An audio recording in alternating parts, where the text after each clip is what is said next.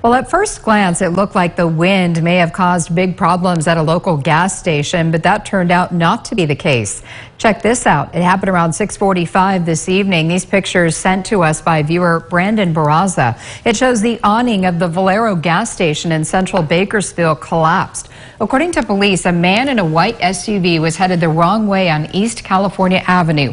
When he turned onto Union Avenue, the vehicle hit a gas pump, then the support beams of the awning, and then the awning awning came crashing down. BPD says the clerk quickly shut off the emergency gas valve to prevent a gas leak. The driver was taken to Kern Medical complaining of pain.